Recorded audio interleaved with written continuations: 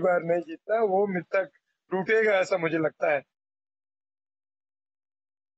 देखिए, मोहन मरकाम और लता उसेंडी अपनी अपनी जीत का दावा कर रहे हैं। इसी बीच कवर्धा से एक बड़ी खबर आ रही है। कवर्धा के एक मतदान केंद्र पर ईवीएम खराब हो गई है। मतदान क्रमांक दो सौ उनतीस में ईवीएम खराब हो गई। एक घंटे देरी से मतदान यहाँ पर शुरू हो सका। मतदाताओं को परेशानियों का सामना करना पड़ा है। ऐसी ऐसी तस्वीरें भी आपको दिखाएँगे। कहीं पर ईवीएम जो है वो खराब हो गई, किसी में खराबी आ गई, लेकिन मतदान हो रहा है, भले ही देरी से शुरू हुआ हो मतदान, लेकिन मतदान फ़िलहाल शुरू हो गया है। और आप भी घरों से बाहर निकलिए और मतदान करने के लिए ज़रूर जाइए। लोकतंत्र का ये महापर्व है, इसमें अपनी हिस्सेदारी ज़रूर दिखाइए। लगातार तस्वीरें आपको दिखा रहे हैं। न्यूज़ स्टेट पर लगातार महा कवरेज आप देख रहे हैं और साथ ही साथ यहाँ पर अलग अलग जो प्रत्याशी हैं, जो अलग अलग जगहों से प्रत्याशी हैं, वो अपनी अपनी जीत का भले ही दावा कर रहे हो, लेकिन हालाँकि ये देखना होगा जनता किसको चुनती है? जनता विकास के मुद्दे पर वोट करती है, दावों पर वोट करती है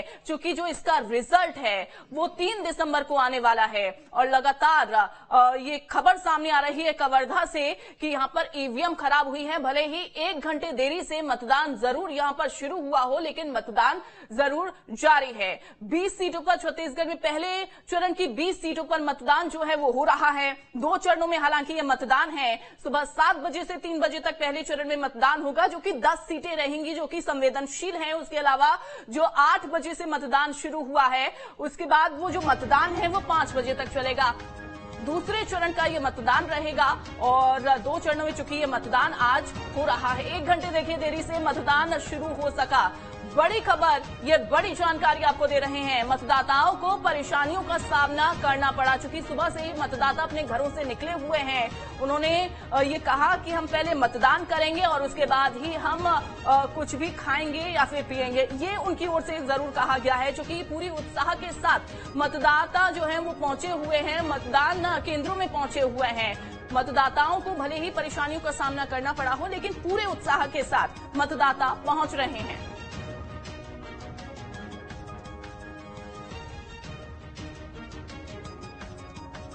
तो एक घंटे देरी से देखिए मतदान जो है वो शुरू हो सका। चलिए सीधा अपनी सहयोगी प्रगति का रुख करते हैं। न्यूज़ रूम से हमारे साथ जुड़ी हुई है प्रगति। देखिए, कवर्धा में तो ये तस्वीर सामने आती है, खबर सामने आती है कि ईवीएम खराब हुई, लेकिन एक घंटे देरी से मतदान यहाँ पर शुरू होगा लेकिन पूरे उत्साह के साथ। कोई अपडेट आपके पास? बिल्कुल देखिए अंजलि कवर्धा से एक खबर सामने आ रही है जहाँ ईवीएम मशीन में खराबी देखने को मिल रही है लेकिन उसके बावजूद उत्साह में कोई कमी नहीं है हम मतदाताओं की बात करें सुबह से ही मतदान केंद्रों में वो पहुँच रहे हैं अपना मत का प्रयोग करने के लिए और न्यू स्टेट भी बार बार आप सभी से यही अपील करता है कि आप अपने मत का प्रयोग ज़रूर करना क्योंकि जब आप अपने मत का प्रयोग कर पाएँगे तभी आप अधिकार मांगने का हक भी रखेंगे हम्म। सुबह से ही वोटिंग शुरू हो गई है हालाँकि ये खबर सामने आ रही है कि ईवीएम मशीन में में खराबी देखने को मिल रही है। उसके लिए भी काम किया जा रहा है। उत्साह की कोई कमी नहीं है। अधिकारी मौके पर मौजूद हैं। सुबह से ही वहाँ पर नज़र आ रहे हैं। इसके अलावा, अंजलि, अगर कवर्धा सीट की हम बात करते हैं, मोहम्मद अकबर यहाँ से प्रत्याशी है कांग्रेस की तरफ़ से और मोहम्मद अकबर वही मंत्री हैं जिन्होंने पिछले चुनाव में यानी कि 2018 में सर्वाधिक जीत यहाँ पर दर्ज की थी, मत यहाँ पर पाए थे, जिसके बाद ये काफ़ी मज़बूत प्रत्याशी माने जाते हैं। इसके अलावा कई तस्वीरें भी सामने आ रही है। न्यूज़ स्टेट पर सुबह से पल पल का अपडेट हम पहुँचाने की कोशिश कर रहे हैं,